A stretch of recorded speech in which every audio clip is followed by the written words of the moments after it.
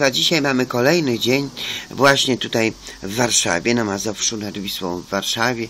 I jest już godzina no 21, nawet i później.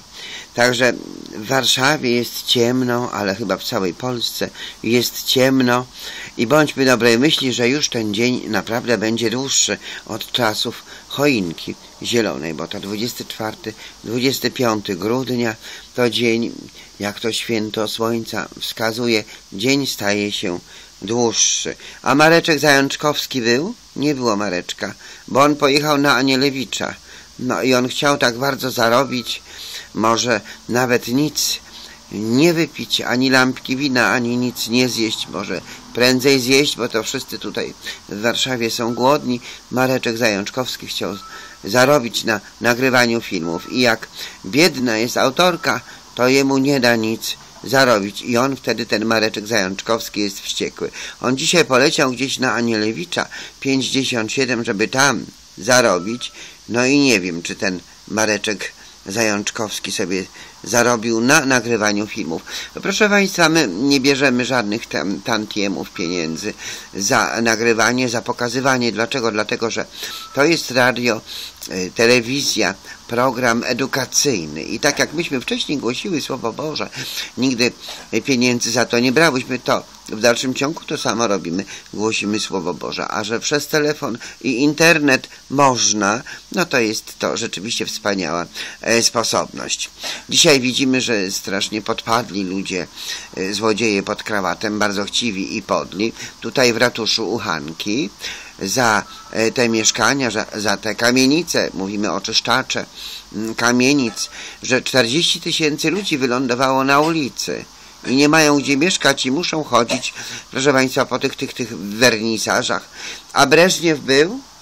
Nie, nie, nie było. Breżniew... Ale był Kosygin. Kosygin. No. Breżniew tam nie chciał pójść, bo Breżniew wie, że tam jest lampka wina, a dla niego to Nocy zamarł. 24. Kto zamarzł? No ale to nie ma tak, że zamarzł. Zamarzł to znaczy, że nie żywy. A poza tym odmrozić sobie nogi, to znaczy, że potem je amputują. Czy ręce, czy, czy głowę.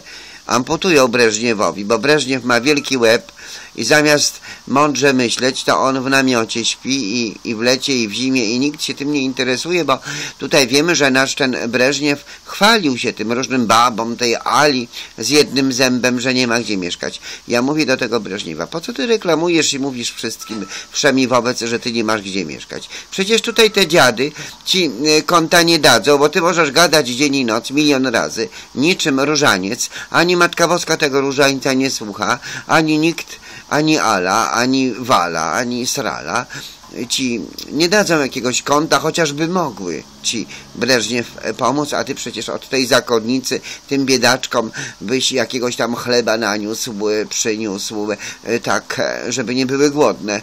Ale to jest niemożliwe, widzicie Państwo, że tak jak to Niemen śpiewał tutaj na Saskiej, jesteśmy na Saskiej, on się uczył, że człowiek przeciwko człowiekowi, prawda, e, jakby za naukowską też idąc i jej medalionami człowiek człowiekowi ten los zgotował, że człowiekiem gardzi człowiek po prostu.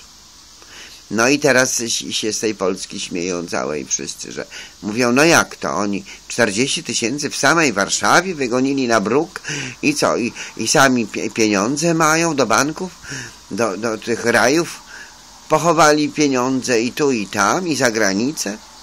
No,